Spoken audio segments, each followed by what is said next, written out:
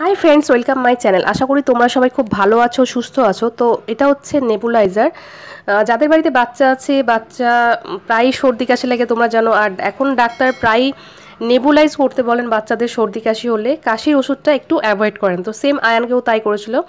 তো তার জন্য আমরা আয়নায় দুই বছর বয়স যখন, তখন ওর জন্য একটা নেবুলাইজ আমরা কিনেছিলাম, যেটা ডাক্তার প্রেসক্রাইব করেছিলেন। আমরা নিয়েছিলাম রসম্যাক্সের যেটা তিন বছর ওয়ারেন্টি ছিল। এখানে বিভিন্ন জিনিস লেখা আছে।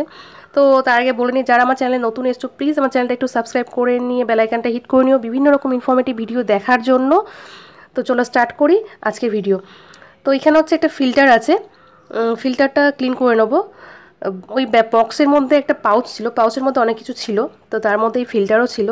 তো এর আগে একবার ফিল্টার চেঞ্জ করেছিলাম, তারপরে আজকে একটা চেঞ্জ করছি। টোটাল চারটা ফিল্টার ছিল, এগুলো স্পঞ্জেরই তো আজকে একটা লাগিয়ে দিলে আর একটা বাকি থাকবে।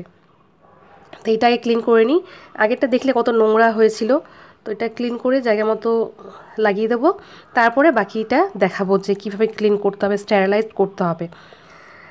যারা আমার চ্যানেলে নতুন এসছো প্লিজ আমার চ্যানেলটা একটু সাবস্ক্রাইব করে নিও প্লিজ আর যারা আমার চ্যানেলে আগের থেকে আছো, তাদেরকে অসংখ্য ধন্যবাদ আমাকে সাপোর্ট করার জন্য। তো এবার এই পাউচের মধ্যে দেখা কি, কী ছিল? আরেকটা বড় মাস্ক ছিল মানে টোটাল দুটো মাস্ক ছিল, একটা বড়দের, একটা ছোটোদের, আর একটা ইনহেল করার জন্যই ছিল এটা মুখে লাগিয়ে যে সম্ভবত করে। মানে এই মেশিনটা বাচ্চা থেকে বয়স্ক সবারই ইউজ করতে পারবে, ডাক্তার প্রেসক্রাইব করলে, ঠিক আছে? তো এবার চলো আমরা কীভাবে স্টেরালাইজ করব? তো প্রথমে এই এই ওপরের ভাগটা আমরা খুলে নেব, যেখানে আমরা ওষুধটা দিই মেডিসিনটা দিই। এবার জল নিয়ে জলটা গরম করব। যেভাবে আমরা বাচ্চার দুধের বোতল কিংবা নিপেল স্টেরালাইজ করি সেম সেইভাবেই শুধু এখানে জলটা ক্লিন থাকবে। জলের মধ্যে কিচ্ছু দেওয়া যাবে না, শুধু জলটাই ফোটাতে হবে। এবার হচ্ছে আমরা একটা নতুন সিরিঞ্জ নেব। সিরিঞ্জের যে নিডেলটা থাকবে, সেটাও নতুন হতে হবে হ্যাঁ? তারপরে এই গরম জল নিয়ে এখানে যে সূক্ষ্ম জায়গাটা আছে, যেখান থেকে ধোয়াটা বের হয়, গ্যাসটা বের হয় সেই জায়গাতে দিতে হবে। কারণ ভেতরে খুব সূক্ষ্ম জায়গা, ওইখানে হচ্ছে জাম হয়ে যায় অনেক দিন ইউজ করার ফলে। তো দুটো পোর্শনই আমরা পরিষ্কার করে নেব এইভাবে নিটল দিয়ে। এটা হয়ে গেছে, দেখো। আর একবার করে নিই।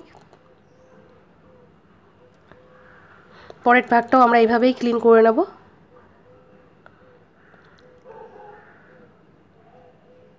এই দুটো খুব সূক্ষ্ম জায়গা, এটাকে ভালো করে ক্লিন করতে হবে। এবার বাকি জলটা হচ্ছে পাইপের, পাইপটা ফোটানোর দরকার নেই, পাইপের মধ্যে দিয়ে দিলেই হয়ে যাবে। তারপরে পাইপটা লাগিয়ে নিয়ে মেশিনটা আমরা অন করব। অন করলে কী হবে? পাইপের ভিতরে যে জলটা ছিল, এই যে হাওয়াটা আসবে, ভেতর থেকে জলটা শুকিয়ে যাবে, মেশিনটা শুকিয়ে যাবে। এবার স্টাইল, এটা স্টাইলাইজ হয়ে গেছে, এবার এটা ইউজ করার জন্য রেডি। দেখো সুন্দর হাওয়া বের হচ্ছে। মানে যার মেশিন যেরকম, সেভাবেই সে ইউজ করতে পারবে। আর যদি না পারে, তাহলে অবশ্যই ডাক্তারের কাছ থেকে জেনে নেবে।